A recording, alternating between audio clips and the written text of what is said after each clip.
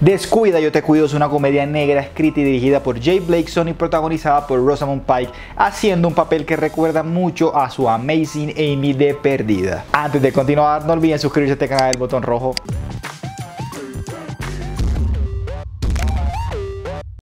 Ella es Marla Grayson, una mujer que no tiene escrúpulos a la hora de beneficiarse de los adultos mayores. Es un monstruo que ha logrado manipular el sistema a su favor y tiene toda una cadena de corruptos trabajando para su fin. Pero Marla y Fran, su compañera, descubren que su más reciente víctima, aquella que creían era una mina de oro, resultó no ser lo que creían. Y por esa razón se ven envueltas en un juego del gato y el ratón con un poderoso criminal. Y digo poderoso porque para ser un respetado gángster, sus acciones son bastante torpes durante la película y dejan mucho que desear. Sin embargo, Peter Dinklage está genial como el villano de la historia. Aunque definir el villano me pareció complicado, esta es una historia en la cual todos los personajes son despreciables y es difícil apoyar a alguno. Habiendo dicho eso, yo me la pasé apoyando al personaje equivocado. La historia es súper entretenida, los dos primeros tercios de la película me encantaron, pero tuve mis problemas con el tercer acto. Digo manera, los colores, la fotografía y las actuaciones son magníficas. I care a lot. Descuida, yo te cuido. Logra nos involucremos en la vida de estos monstruos mientras les deseamos lo peor. Eso es gracias en parte a Rosamond y su carisma y Dinklage quien se nota se divierte. La película lo mantiene a uno enganchado durante sus dos horas. La película está disponible en Netflix y le doy un 3,5 de 5. Recuerden que si les gustó el video, darle like,